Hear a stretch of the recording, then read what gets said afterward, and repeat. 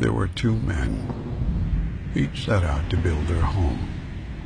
One built his upon the rocks, while the other did so upon the sand. And then came the storm.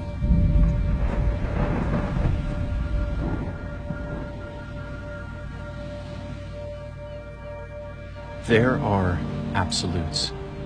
Things that are fixed that no matter how much we may want to move them, will always remain. Jesus said anyone who hears his words and does them will have his life built upon the rock. But to not do them is to live upon the sand. Rock or sand. You see, the ocean is immense, completely vast, pulled by forces beyond man's control, and therefore it demands respect. You see, it doesn't know you and it doesn't care about you. It can't. The ocean is an unyielding force. You've been to it. And much like the tides of the ocean, each wave of our culture is a voice washing over the known ideas and fixed points of the world around us. This energy, this force, presses on as each new generation takes the place of the last. And the sands that we've come to identify with shift. The waves move the sand.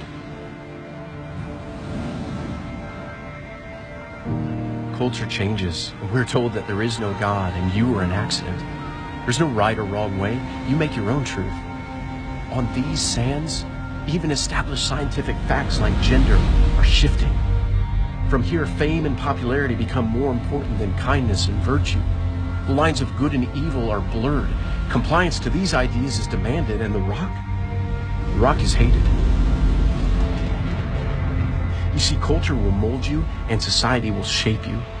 It will forcibly bend you to its will as long as you remain on the shore. And today we haven't just built homes on the sand, no, we've built kingdoms and countries upon it. More and more have left the rock to enjoy the temporary pleasures of the shore, unaware that nothing will withstand the tide. Make no mistake, the tide is rising. These sands will move.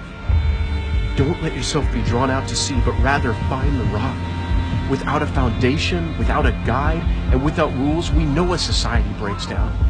See, we've been taught to look at the teachings of Jesus as something to block us from pleasure and enjoyment, when in reality, it was put there to build our life upon, to protect us. The world always calls to us, but it never wants us to leave. And yes, I fully engage society, but my home is on the rock. The water is already rising. We're living in a world gone mad, and no one has the answers. When the floods come, something always has to give. Either the waves will break you, or the rock will break the waves. There's only one who can save us. He's the one who walked on water through the storm to save those who believed in him. When Peter began to sink under the waves, he cried out, Lord, save me. Jesus, with compassion in his eyes, pulls Peter from the water. He holds his hand to you. There's no condemnation. He's not mad. He just wants to save you to pull you to the rock.